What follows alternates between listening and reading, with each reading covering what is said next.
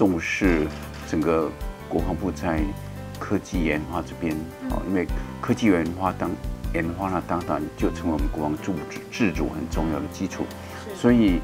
我针对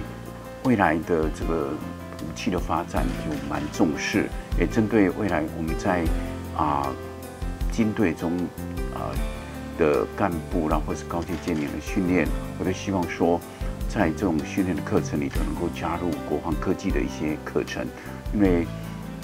我们台湾在科技上，算国际上算是排名啊蛮前面的，我们的科技在国际上算是进步了。那其实我们有一些科技的优势，可以在用在我们的国防武器的发展上，应该这是一个我们的利基。在目标上，我们当然重视，比如说啊福利上，还有用生活起居的照顾。那不只要吃得好，吃得安全，那这样可能对募兵是有帮助的。那在福利对啊退伍弟兄们的照顾上。如果能够有更完善的照顾，在就业上能够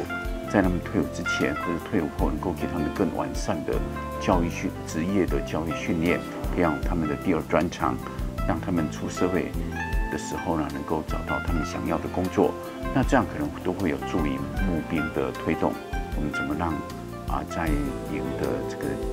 啊军官士兵们能够安心的？来全力为国家的安全来做防卫，这方面其实是很重要。所以，我们当然希望做到能够让啊服役的官兵们没有后顾之忧。怎么样是对啊军中的退的官兵还有退役的官兵做最好的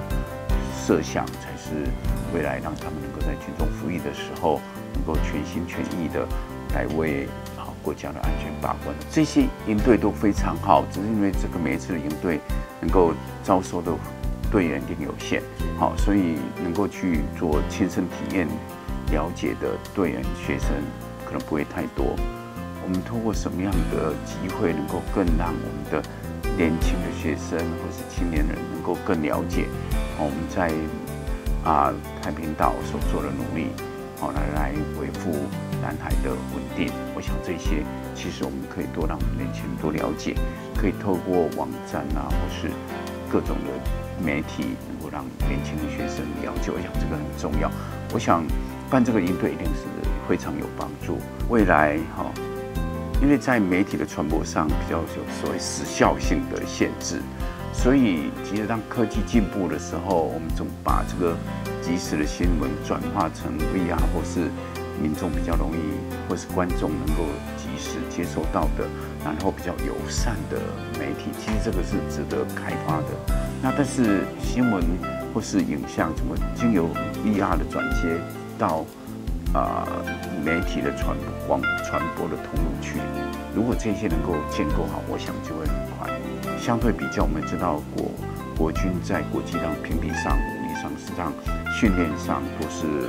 蛮排蛮前面的，只是很多的情况下，民众可能经由报纸媒体都听到的是负面的消息。但是，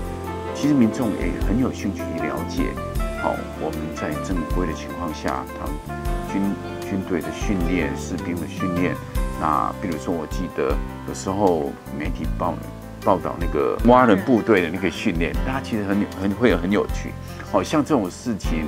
其实可以让民众多了解，那经过这样了解，知道说军中的生活，好军中训练情况，当然有一些我们我们有机